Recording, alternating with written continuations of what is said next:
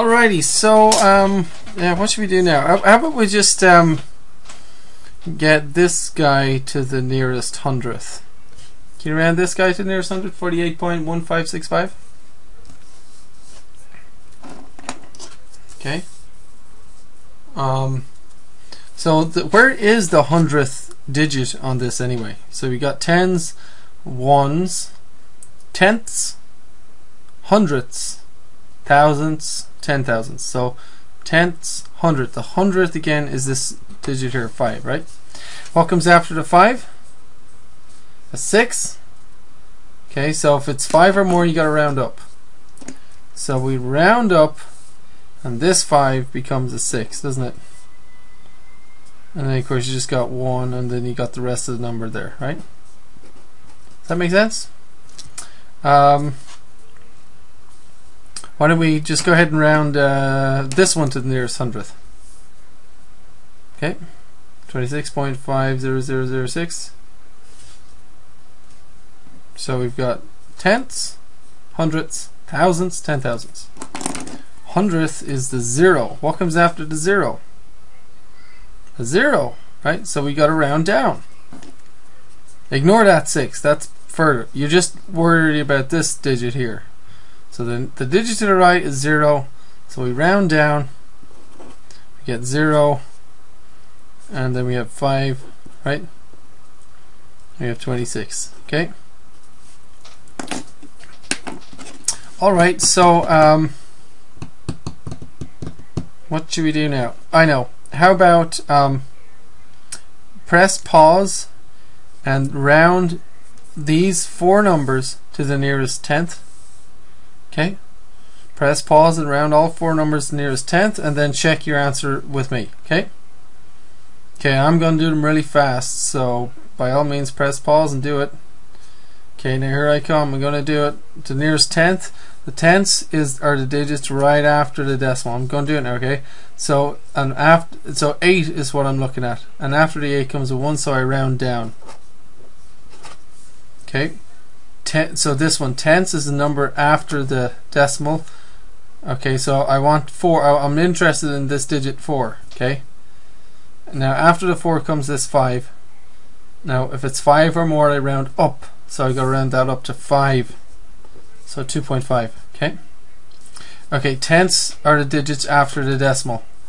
So I'm interested in this 1 so I look to the right of the 1 and to the right of 1 I see a 5 if it's five or more, I've got to round up. Know, forget about the rest. The rest of it doesn't matter. Just you're just looking at the one and the five. That's it. Okay. So you round the five up, and that one becomes a two. Okay, and so we got 48.2.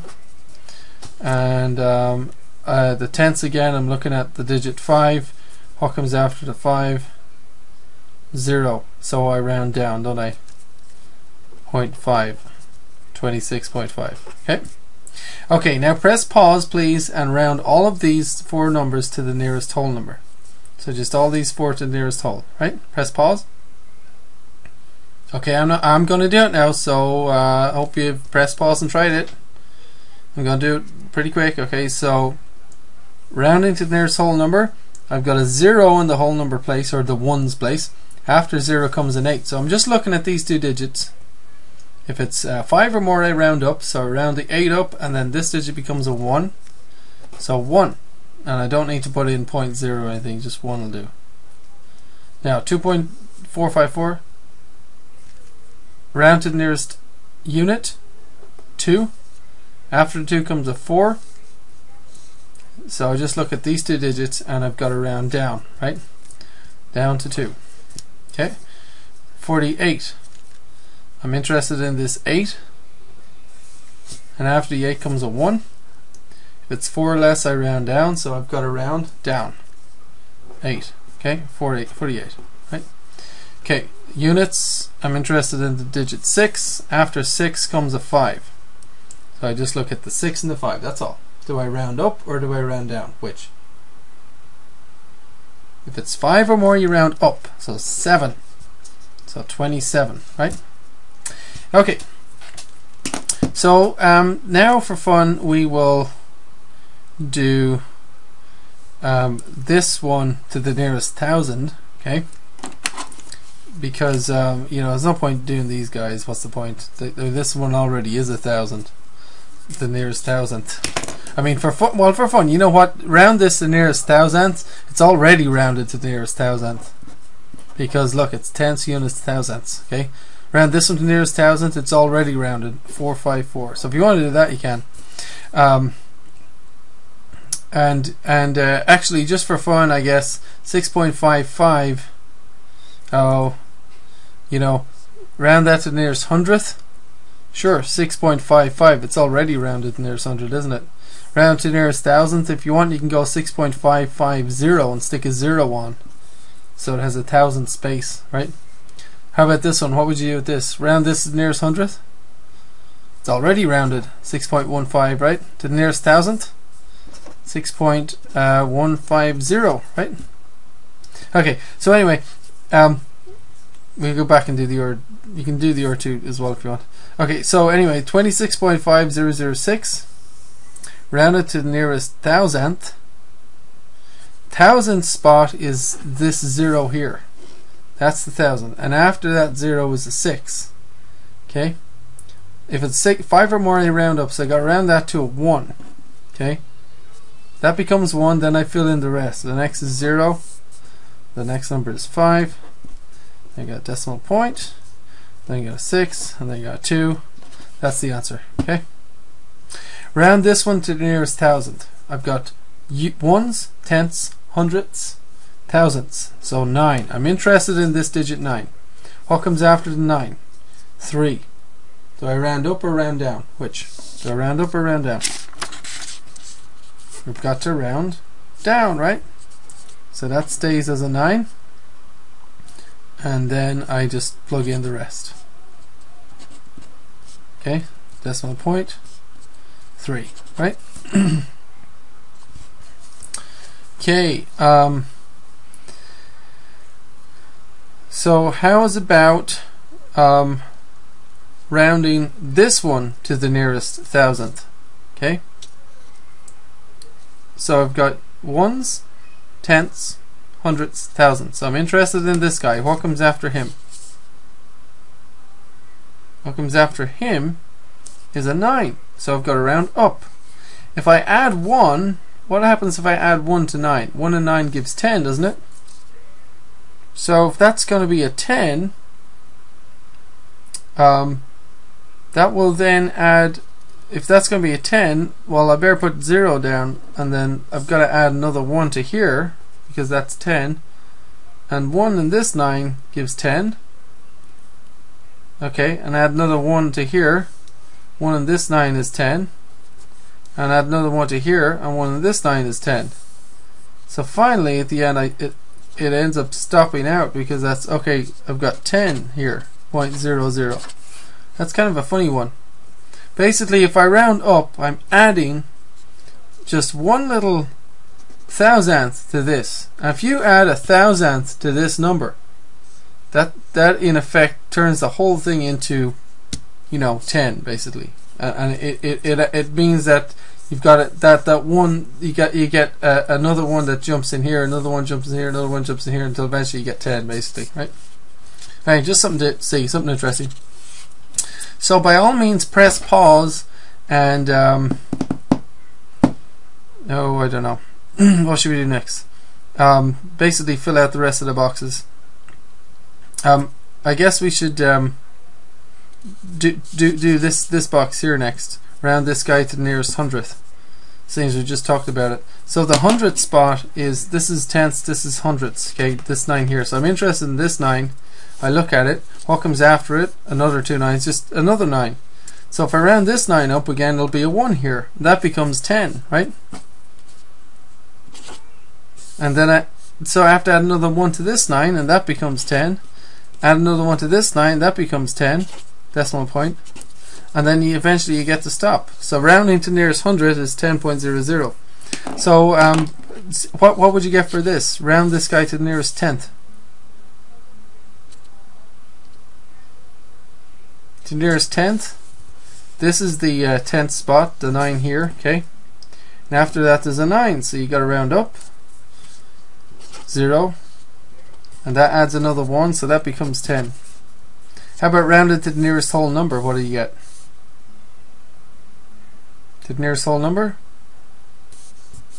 Again you're interested in this 9 and there's a 9 after it so that will round up and you get 10 okay?